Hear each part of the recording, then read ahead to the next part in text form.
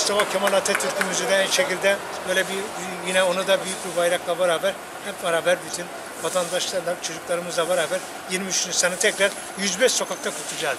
Çocuklar bir numara zaten ama ben çocuklara bir şeyler tekrar bu geçen seneki gibi ikram etmek istiyorum. Palyançolar, işte eğlenceler, çocuklar için her şey yapacağım. Evet ben çocukları inanılmaz seviyorum. Herhalde ben de 62 yaşındayım ama bence çocuk gibiyim ben. Hep böyle kalacağım galiba. Ee, Bir televizyonlarda falan her yerde bir şey bakıyorum. Herkes bir şeyler yapıyor falan.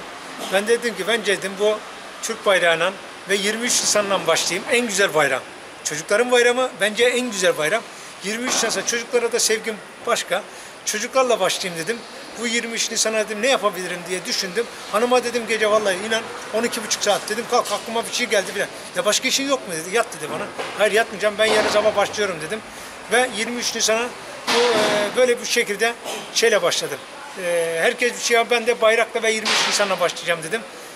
Hayalimi bence gerçekleştirdim. Hayalimi daha üzerine koyarak gidiyorum. Üzerine daha koyarak gidiyorum. Salih Bey Marmaris'in gülü diyeyim yani her sokakta olması gereken insanlardan biri. Çok değerli bir büyüğümüz. Sağ olsun 4-5 seneden beri 23 Nisan'ı kutluyor, çocuklarımızı eğlendiriyor. Yani isteriz ki de Türkiye'de bu olayların hepsi olsun. Her taraf böyle bayram şenliğinde yücelsin isteriz. Vallahi ben e, evi aldıktan sonra bir ara evi satmayı düşünüyordum. Salih Yazgan gibi komşum olduğu için mutlu olduğumdan e, evi satmaktan vazgeçtim. Ve onunla ve onun komşuluğuyla hemşerim olması, komşum olmasından gurur duyuyorum.